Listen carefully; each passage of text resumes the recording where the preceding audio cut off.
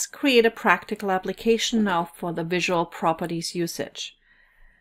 So I want to add a little introduction at the beginning of our video. And I've just highlighted everything and I've zoomed in as far as I can and I'm just going to take all my tracks. Now it's important that you shift click all of those before you start doing that. And I'm going to create a about three and a half second introduction. That should give me a good space here. And if I zoom out a little bit, I can see I had highlighted everything. So I'm just going to click somewhere else and zoom back into my introduction.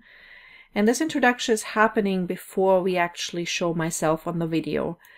And I've created a nice little image here. And I'm just going to put that in front of the video.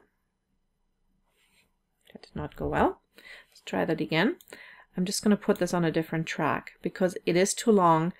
I'm just going to show you actually what happened when I did that.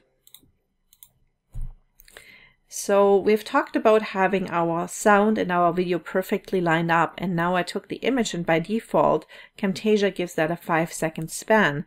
So I put this right in the beginning here of my video track and you could see my actual video clip jumped ahead so nothing is in sync anymore. So the quickest thing you do is control Z, you undo this when you have something like this happening and you can take that clip and put it on a separate track. Now you can see by putting it on track three, nothing bad happened. And what I'm going to do is I'm just going to make it a little bit shorter and I'm going to drag it out to the beginning. And now I can safely move it onto my video track without disturbing anything.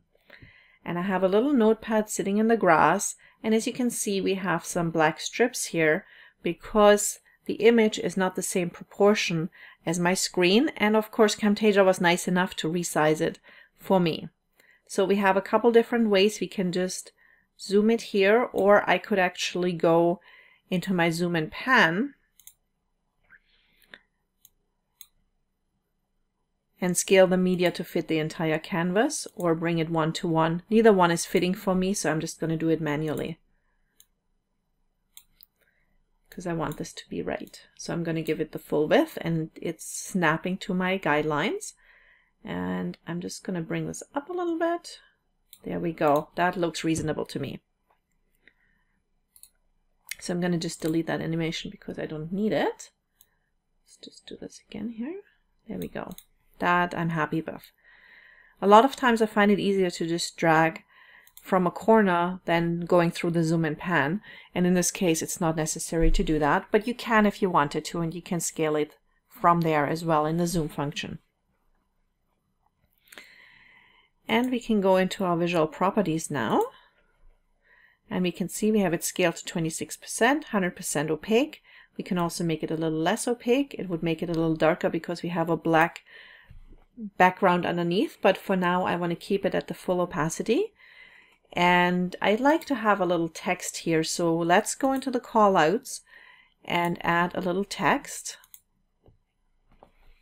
And we're going to call it our sample welcome to our sample video. There we go. That looks nice. That makes a nice little welcome.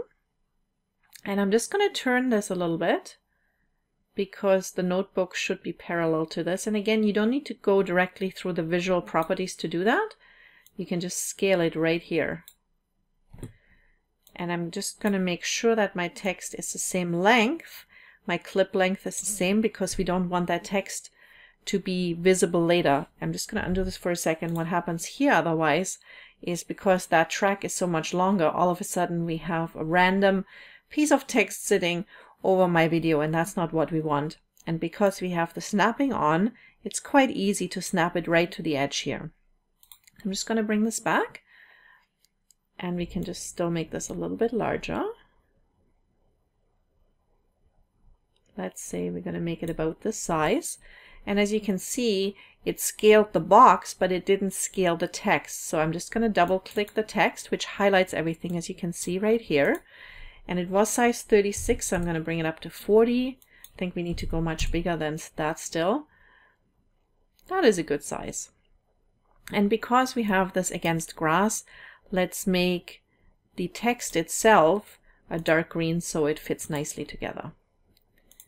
And I, you can see that it's not quite parallel with the edge here, so I'm just going to go into the visual properties now, and I'm going to start rotating this a little bit more. Make sure there's no background around it. I can rotate it right here, and you can see it's quite difficult to get this to the right number. So this is where the visual properties comes in, the visual tab comes in to bring this to a better number. So I'm just going to keep rotating it until I'm perfectly happy with it. I think one more degree. And here we go. That looks pretty good to me. And I'd like to move it a little bit further down. And you can see my XY positioning is changing as well right now. So that looks pretty good to me already. Now, by default, the the transition that is applied to in the callout is a one second fade in and a one second fade out. Let's just have a look at how this looks.